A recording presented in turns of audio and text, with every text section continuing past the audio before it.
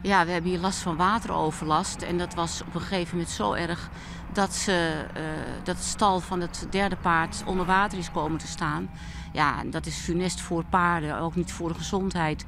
Dus het paard hebben we elders moeten onderbrengen. Ja. Waar komt die wateroverlast vandaan? De wateroverlast is gekomen omdat de drainage niet werkt. Die werkte al een tijd niet optimaal.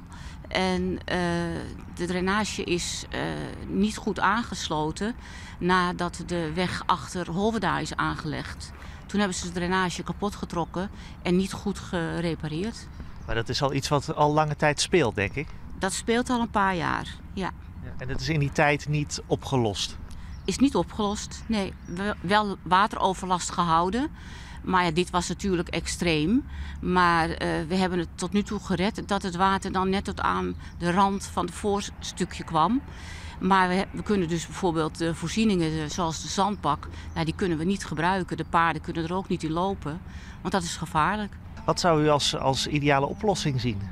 Dat ze heel snel onze drainage repareren en aansluiten op de afwatering. Ja, ja. en daarmee is dan in ieder geval het leed voor nu klaar?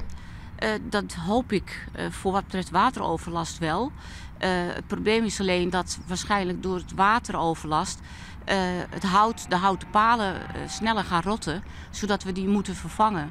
Ja, en wat we hier in een aantal jaren hebben opgebouwd, dat heb je niet zomaar in één keer vervangen.